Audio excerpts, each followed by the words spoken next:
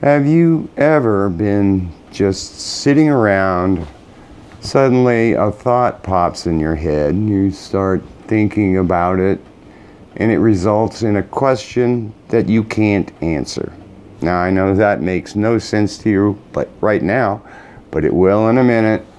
So, um, if anybody can answer my question, why would I, me, in this shop, want to matched pair of V-blocks? So here I'm just messing around with some V-blocks and then I'll also share some finds. See you next time. All right, I'm just gonna be rambling on here, so, but I was thinking about these V-blocks and they're Starrett, right? Yeah, LS Starrett. And I suspect they're a matched pair because they are someplace here serialized. It's on that side, yeah. There's a serial number there, 364, and same way on this one, 364. So I'm assuming they're a matched pair. But I already know in the past I've run the indicator over surfaces and the, the outside no. One of them's angled some which way and so on and so forth. But why would you want a matched pair. What's matched? You know, suppose they are like perfectly exactly the same. Um, I don't think you can, because you're usually just using one in the vise. The only time you'd want a matched pair is if you're trying to support something long in the groove. But I was thinking too, you know, um, what do I care about? I care about this groove. And so I was thinking, well, everybody's wiped down here. They're all clean, all done. So what I care about is this groove when I'm putting it in the vise. Therefore, I care about this groove with respect to this back surface. So gauge pin sticking in there. I, I don't know if I can see or not what's going on, but if I come over to an end, this is going to be tough because this is the 10th indicator. Yeah, okay. So maybe you guys can see, I, why did that move now? Everything is, I'm pushing all over this block and it's not moving. So it's solid, but I'm getting different readings. Yeah, see now I'm getting a lower reading. Oh, because I was out here before. All right, so that looks like that's up about two tenths. Can I get it any higher? No, drops, two tenths. So if I come over here and check it, that's way off, folks. That's more than a half a thou. That's almost a thou off, crooked. Right? Can I get it any higher? No, that's the peak there, which is two tenths under. So Eh, that's pretty bad. Let me make sure this is still two tenths over. Yep, I can get it. So what's the other one then? So for, you know, some precision block, that's pretty bad. That guy's there. Okay, he's in there. He's wiped off. Where is he going to fall?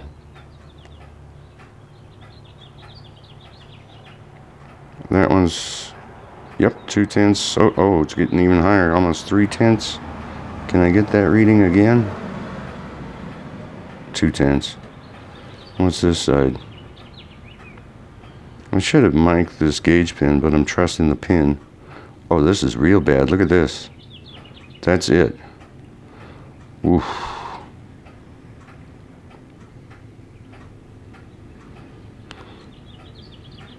So this one's pathetic.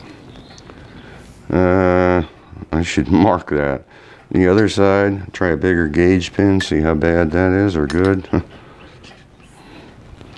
Alright, gonna have to redo this guy. That's, yeah, that's way higher, right? Can I go up far enough? Ooh, no, cannot do that. Way too high. There.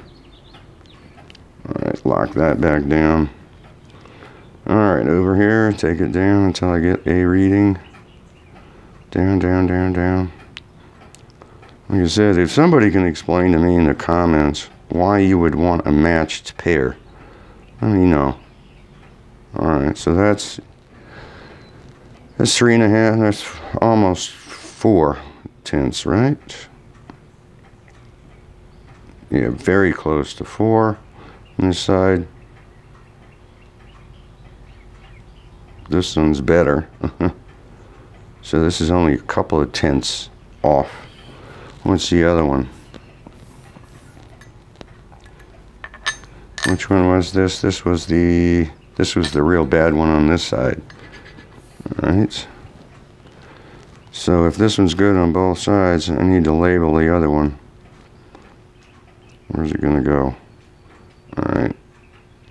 Looks like it's about six tenths above the one on this side. Ooh, this one's really bad. Wow. It still reads six tenths. Yep. Alright. So these are pretty bad for precision Starretts. I mean, there is some marks in here. They were used. I picked them up from a machinist. But I've ordered some cheap Chinese ones. Let's see how they come out. They're supposed to be within two tenths everywhere. So that's just my rambling on playing with these things. Alright, let's try cheap Chinese. $39 from DMI Imports on um, eBay. So I never dealt with that company before. The reason that I wanted it, not because these are that bad, but if you're trying to clamp something small, the vice jaw isn't high enough to hit this. Because I'll clamp it, uh, well, I guess like that, burk, you know. So I can't clamp small stuff in this. I can the big stuff because the jaw will hit that surface there.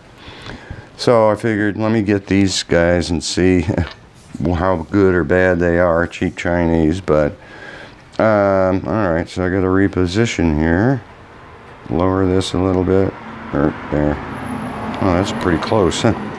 Oh, actually, I got to loosen this. Well, that's good enough.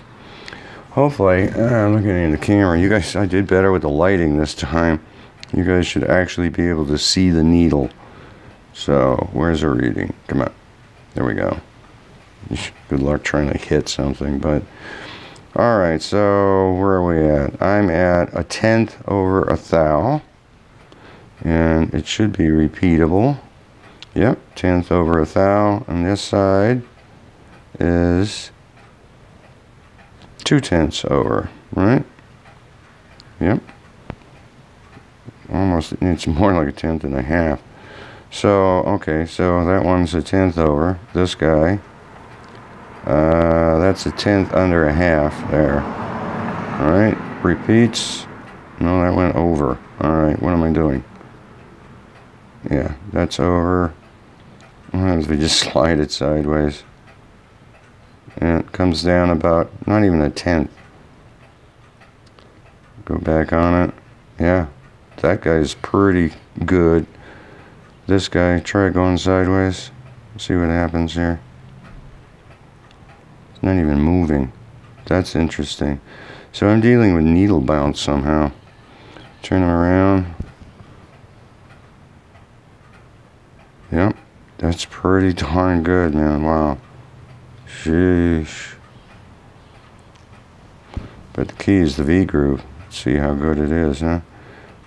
Or, well, that one's moving just a tad. Wow. Alright, so let's see how good they are this way, huh? And loosen this up because I got to take it up a bit. That's a lot. There. Lock that back down. Alright, so I got to find the peak here. Go. Is that the peak? that's the peak. One and a half. If I come down here I've got the peak is uh, two tenths high. Three tenths. Yeah three tenths high. Right? Yep that's three tenths high. And this side is oh I say this is one and a half and a tenth. Right? Doesn't go any higher. almost hits the four. Uh, I'll call that one and a half and a tenth. And I'll call this one and a half. Whoa, that's quite a bit now.